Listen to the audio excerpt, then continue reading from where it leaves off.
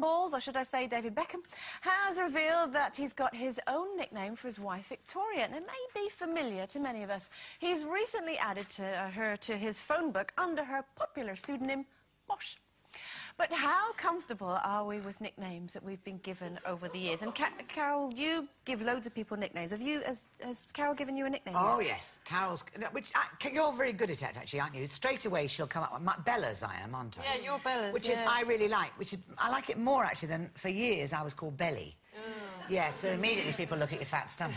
and in fact, Christopher Biggins um, gave us all nicknames and then gave us little brooches. So, and I had a little diamond over the eye for the belly, and I've still got it, I have to say. But and I no, it was and it was lovely because lots of people 30 years ago knew me. You know, will call me Belly still. But I went for an interview once for a quite moody part in a film, and the casting director, that's the lady you know gets you in for the job, was an old friend, and she obviously kind of forgotten there was this very smooth American film director sitting. And I was being particularly, well, I thought moody, until she went, uh, Belly, if you'd like to get up and read something for her. so I kind of grovelled my way across the floor. But Mr. Spain, talking of nicknames, that was a secret code when we first met so that nobody knew I was going out with him. So he's Mr. Spain, but he calls me the little brontosaurus. Which I quite I like. like because, that, well, it- yes, because in a way it suggests somebody older, but kind of tough, you know. So when he goes, come along, my little brontosaurus, I'm there.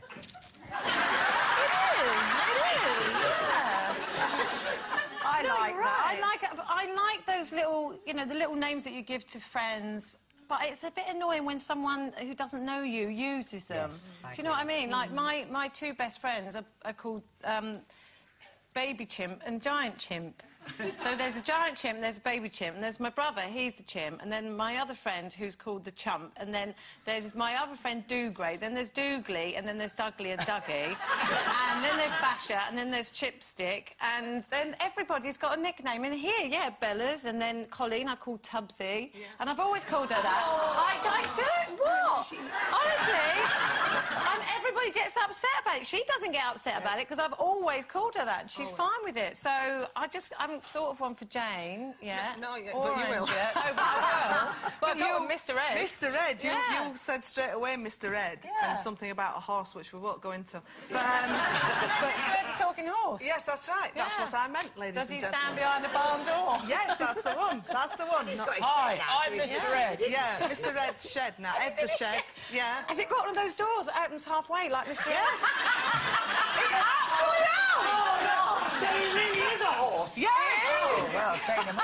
Mr. Ed in his shed. You need- You need to get him to lean out the top bit and go, Hi, I'm Mr. Ed. and unless you're really old, you won't remember that. No, I do remember won't. that. You can say, why the long face? Yeah.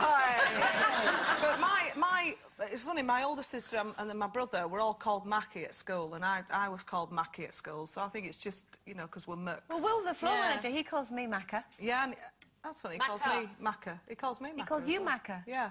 Oh. So they're both thinking that they're special, and Yeah. they're not. That was up. Well, look what you've done now. You started a fight. He doesn't know whether it's Monday, Tuesday, Wednesday, Thursday or Friday. He just goes, macca, macca, macca, macca, macca. I used to be called Spoonie for a long, long time.